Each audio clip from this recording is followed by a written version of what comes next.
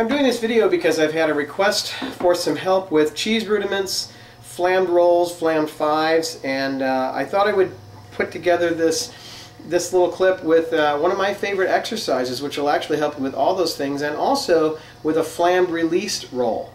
So first of all what we need to do is make sure we're playing our flams correctly.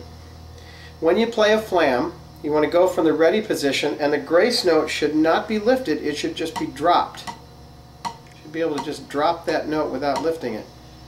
And then our flam would be played either from the playing height or from an accent height, the actual beat.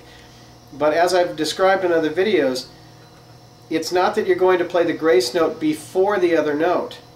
If this starts here and this starts here and we just let them go, you'll get that nice flam without having to lift. So now we're going to do the flam act, four counts of flam accents. And we're just going to go ahead and put a drag on that first beat, which will be the cheese rudiment.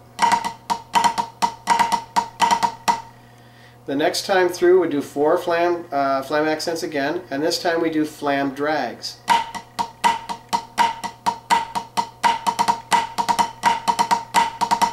The third time through we do four flam accents again, but this time we put the drag on the third beat.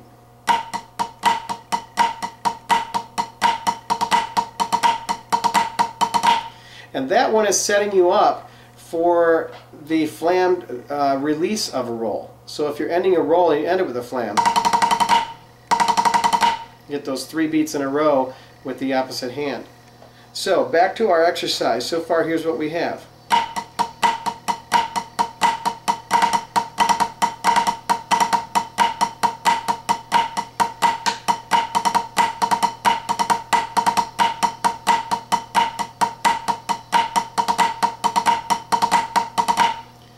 Now the fourth time through we're going to do flammed fives.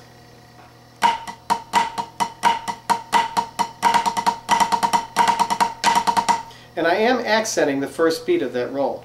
And then the last time through we're going to do tap flam five stroke rolls. And because we're running those together, it ends up being the kind of roll where you have a flam on the release.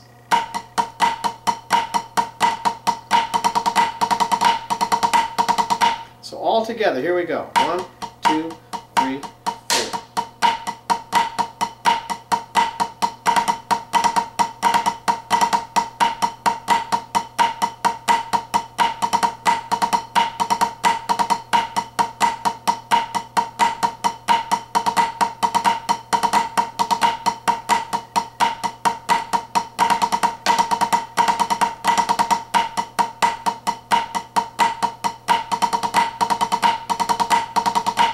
Let's try that a little faster. One, two, three, four.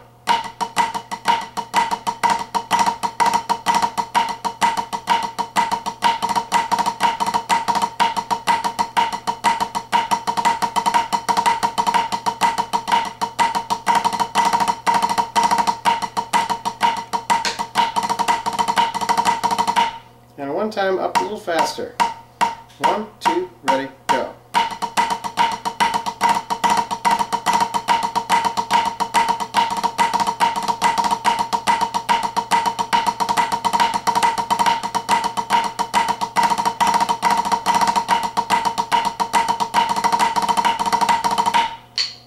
That's a great exercise for developing those things. You've got to get those three notes in a row and, and with that last pattern. And this is just a great warm-up too. It seems to really loosen you up. So give that a try. Work on it slowly, getting faster and faster. Make sure your stick heights are good. Make sure you have control, that you're not doing a lot of legato strokes. You're doing a lot of controlled strokes. And let's see where that goes. Have a great day.